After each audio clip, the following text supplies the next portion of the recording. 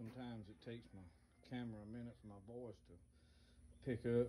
It adjusts the sound, but I noticed on some of my videos you can't hear me talking right at the first. But what I did here is this is some of what we've picked, not all of it.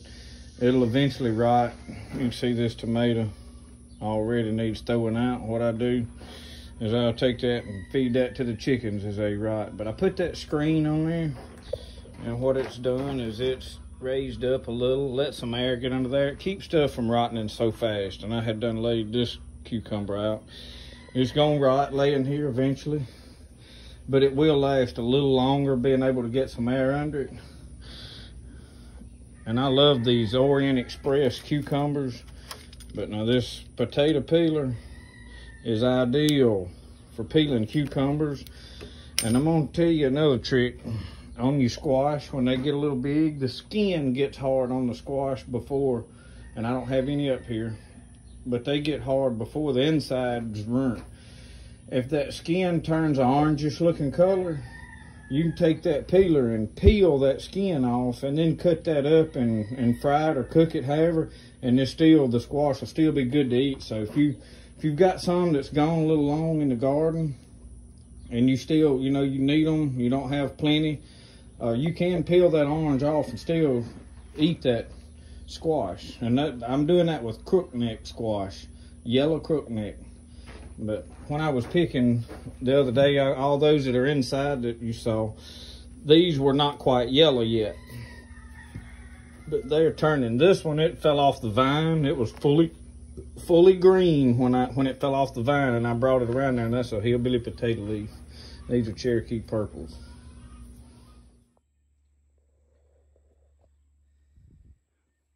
doing right here is we're gonna give you a quick look of late summer.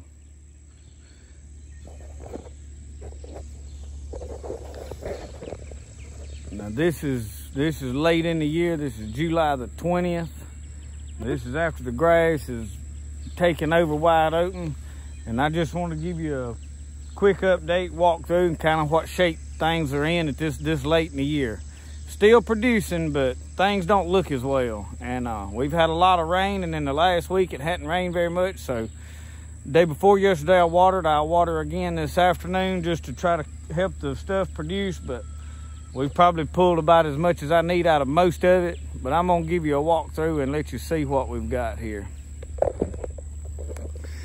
Now these tomatoes right here haven't haven't made. This is the ones that you see a video I just stuck for some reason my pepper my pepper's always a little late coming in.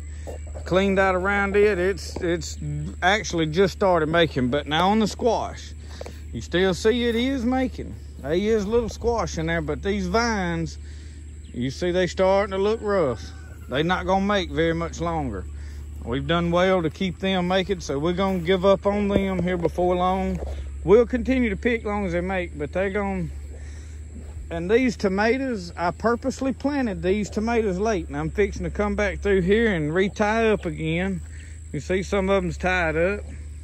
Uh, they just starting to make. They're going they in fact it'll probably be later this week, but there's one that fell off in the process of me hoeing, but the worms had already got to that one and and all. but this late in the year it's hard to make them look pretty and especially down here in the garden. Now you see these Orient Express cucumbers you seen up there on the table, I had a pile of them. They're still producing, but they they on their last leg.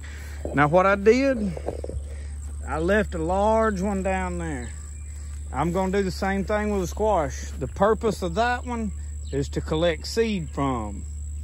So uh, there's one or two there, you see them turning yellow, I'm probably gonna leave them. I've got more up there than I can eat. I've got another one hanging right here that's pretty large. You leave some of those for seed. Let them, let them fully grow on here. See, I pull this out. I'm gonna let them lay there. This, this is what I'm gonna, I'm gonna collect seed out of this. Cut it open, let it dry. But I'm gonna let them lay down here till they dry in this garden as much as they will. And there's another row of tomatoes here. I went through here and plowed today. Grass is fully taken. We got some, now these, that plant right there, is okra. They come up late, somewhat volunteer, but now we did plant some seed. They didn't do as well as I wanted, but I planted some pumpkins in there. They're big enough you cannot ply it without pulling your pumpkin vines up. So we left that. This here's butter beans. I'm gonna give you a walk through our butter beans and our, you see how this grows together real quick. I come through here three days ago with a machete and cut my way through here so that I could walk and pick. But you see this? Rattlesnake pole beans and they loaded in here. Uh, it's time to uh, pick again. And what I do is this wire, I need to put another, uh, me back up. Now I pushed that and it opened up. You can see how wide of a gap I've got now. That wire had just laid over. I need to probably add some more supports to that. But uh, I was gonna give you a look. See these butter beans up in here? They still real flat. These butter beans and stuff haven't made yet peas and stuff have all been making but now when you when you get them up this this particular butter bean they'll load up but they always come in late. And see how flat they are. Those will get very very large.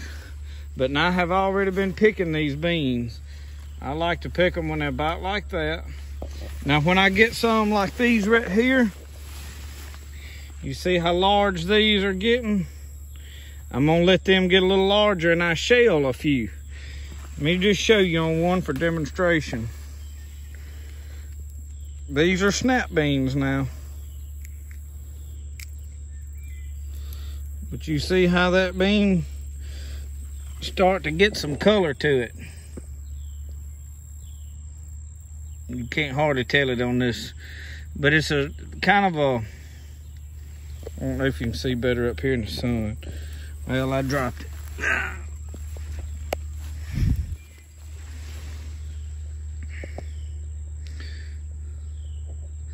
Getting some stripes to it.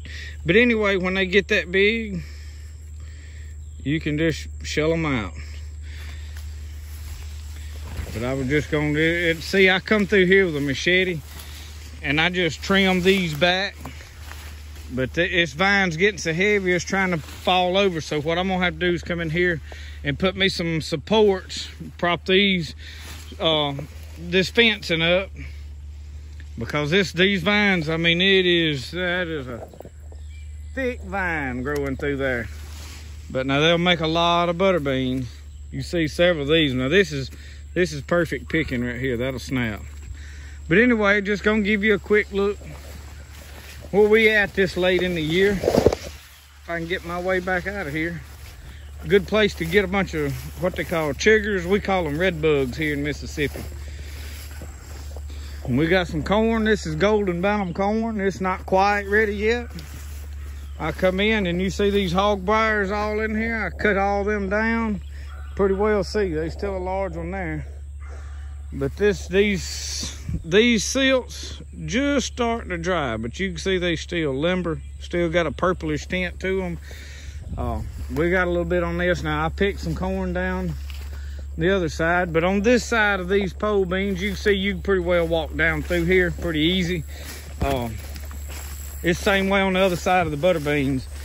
Uh, probably next year I'll space those two out and, and leave me a run in the middle where I can plow my tractor. I intended to do that this year, but I've got these too close together. Next year I plan on this row, and I did that this year and I wound up somehow getting mixed up, but look right here. None of them are ready yet. Still very flat. You wait till that butter bean gets fat. But you can still walk right through here and, and pick very, very easily. I can dig all through here, but see, I need to get me, I need to get something and and pull this vine back up this way. All right. Thank y'all for watching my videos. I'm probably gonna do a video later this afternoon, canning some tomatoes, and I'll show you kind of how I go about canning. But uh, you can see some yellow blooms right here that's pumpkins.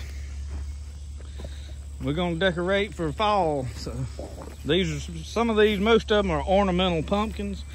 but we've got pumpkins growing in three different places. But at this point, you just got to let the grass take it, which it'll help shade those pumpkins. So it'll be good for them. And I want you to see, you see these plants right here? This is mustard greens. They come up volunteer and I left them. I'm gonna pick some here pretty quick. I mean, they they pretty well thick in here. In fact, this row, they, they pretty solid on it. Thank y'all for watching my videos. Like, if you like what we do, like our videos, tell your friends about it. We just try to share a little of the way we do things. Uh, I know you look in this garden you say that it's, you know, got a lot of grass in it.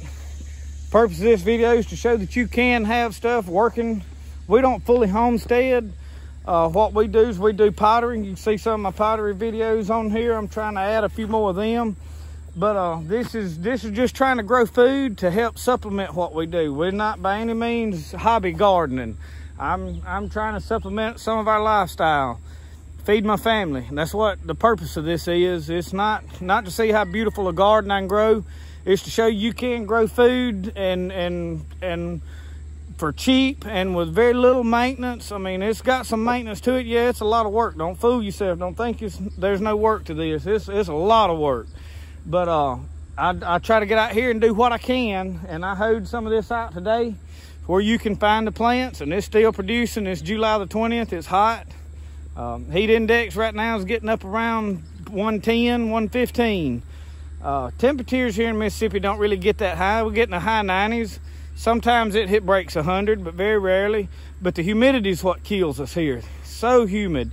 Um, so you have to drink a lot of water. But you can work, do other things to make a living, to make you money, and then help support your family with growing some food. This this stuff that we grow is a whole lot better than as far as taste than what you go to a grocery store and buy. So if you like what we're doing, like these videos, tell your friends about them. I'm just trying to share a little of the way we do things and a little bit of uh, tips on how you can maybe some other options, a way that you hadn't thought about it's by by no means the only way to do things or the best way. I don't I don't never try to claim that this is the best way to do anything.